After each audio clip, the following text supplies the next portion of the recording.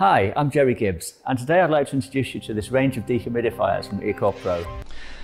So the dehumidifier incorporates a fan and a heater, and anytime we move air, we have some associated noise with that. So let's just turn that on and see what noise we've got.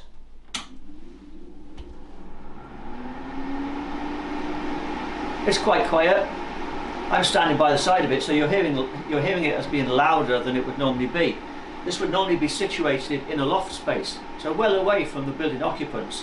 The air coming from this would be ducted, and the ducting itself forming a muffler.